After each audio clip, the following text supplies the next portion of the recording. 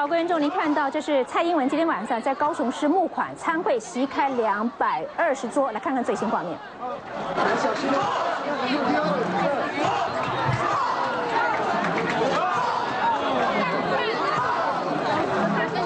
他的也前高雄县长于正宪人也在现场，他也是曾经担任过内政部长。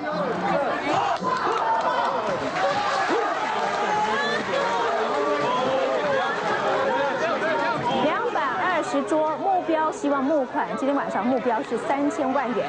好，这是记在昨天的宜兰，前一天的宜兰之后，那么前一天的南投之后，今天晚上募款参会就在高雄。蔡英文稍后发表什么样的谈话？他今天稍早之前呢，其实特别提到他出席新台湾国策智库时提到台湾国家愿景，我们的主张新书发表会。他说，民进党会做一个有使命的政党。稍后有什么谈话？我们休息片刻，马上回来。